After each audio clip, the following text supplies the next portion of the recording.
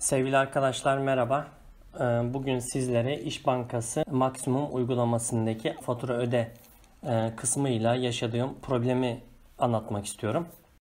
Buna geçmeden önce bildiğiniz gibi faturalar hepimizin hayatında çok önemli bir yere sahip. Yaşam giderlerini düşünürken hep faturalar ön plandadır. Her ay mutlaka e, bunların ödenmesi gerekiyor. Hele ki şu son 2 senedir inanılmaz derecede artan enflasyon ve sürekli zamlanan enerji giderleri olsun, doğalgaz e, zamları olsun hepimizin belini büküyor.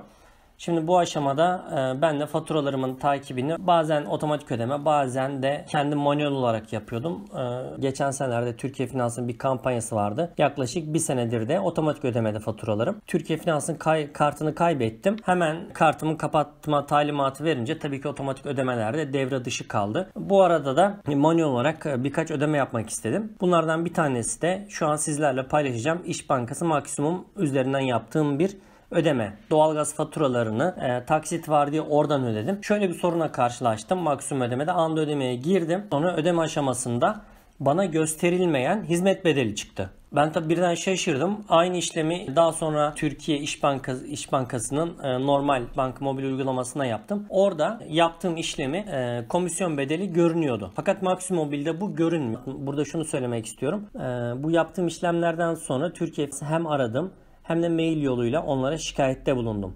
Gelen yazıda ekranda da gördüğünüz gibi 100 TL'nin üzerine yapılan e, işlemlere olanlara da %3 komisyon olarak yapılacağı söyleniyor. Şimdi ben de fazla param gitmesin, israf olmasın. Niye 100 TL'nin altında bir telefon faturam var? Hep birlikte onun ödemesini yapacağız. E, bakın Maxim Mobil'de parmağımla aşağı yukarı kaldırıyorum, ek, kaydırıyorum. Ekranda herhangi bir bilgilendirme mesajı yok arkadaşlar. Gördüğünüz gibi. Yani normalde burada bir hizmet bedelinin veya işte o giderin her neyse yazması gerekiyor. Bakın parmağım şu an aşağı yukarı kaydırıyorum ekranda. Hiçbir bilgilendirme yok. Aynı şeyi şimdi İş Bankası'nda yapacağım. Normal mobil uygulamasında yapacağım. Ee, bakın gördüğünüz gibi İş Bankası'nda da hemen burada bir hizmet bedeli göründü. Gördüğünüz gibi şimdi maksimum mobile geçip ödeme aşamasını tamamlayacağım. Bakın öde diyeceğim şimdi. Öde dedim. Şu anda ekrana gelen e, tutar bu. Bu bilgilendirmeyi maalesef İş Bankası yapmadı. İş Bankası maksimum özelliği yapmadı. Ve bu bankalar veya bu tarz e, üstünlüğü olan yerler hiçbir şekilde hatasını kabul etmiyor. Hiçbir şekilde hatasını kabul etmiyor. Aradığım zaman e, ya öyle değildir diyorlar. Bakın mesajda da e, suçu bizim üzerimize atıyorlar ama ekranda da gördüğünüz gibi her şey delilli, ispatlı hiçbir şekilde bilgilendirme yok. Tüketici mahkemesine de ben bunları şikayet etmeme rağmen henüz oradan da bir cevap gelmedi. Çünkü bu kez ben bana bilgilendirme yapılmadan kesilen bu tutarın iadesini istedim. Çünkü hiçbir bilgilendirme yapılmadı. Diğer ekranda olduğu gibi görerek, bilerek ben bunu onay verseydim tabii ki onlar haklıydı. Fakat şu anda tamamen banka bu durumda ben haksız olduğunu düşünüyorum. Yani e, sizin de gördüğünüz gibi hiçbir şekilde bilgilendirme yok. Tekrar altını çiziyorum. Direkt paramı kesip sonuç ekranında ben bunu görüyorum. E, bunu ben sizlerle paylaşmak istedim. Otomatik ödeme talimatlarında da aslında önceden fatura başına belli bir miktar kesiliyordu. Fakat şu anda o e, hizmet bedeli kesilmiyor. Otomatik ödeme talimatında aslında bu bu güzelliği, bu kolaylığı var.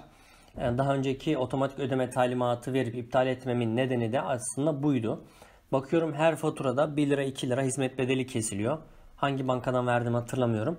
Özellikle Türkiye Finans'ta e, faturalarıma otomatik ödeme talimatı verirken bunu e, birkaç kere sormuştum danışman arkadaşa. O da kesinlikle hizmet bedeli alınmayacağını söyledi ve gelen ekstrelere de bakıyorum. E, hiçbir hizmet bedeli yok. Faturam neyse o ödeniyor. Yani bu şekilde de otomatik ödeme talimatı sizler de verebilirsiniz. Ama anında fatura ödeme yapacaksanız lütfen e, bu hizmet bedeline dikkat edin.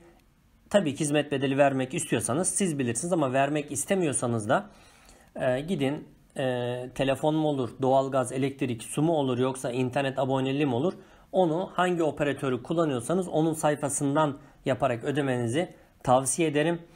Ben bu konuda e, rahatsız olduğum için yani gerçekten hani onların Şu anda buradan aldığı 2-3 lira veya 30-40 lira e, ben onu bilerek ödesem e, sorun değildi. Fakat bir kandırılmışlık duygusu yaşadığımdan dolayı bu beni açıkçası rahatsız etti ben de e, bu durumu sizlerle paylaşmak istedim. E, eğer bu konuyu beğendiyseniz e, videomu beğenip kanalıma abone olabilirsiniz.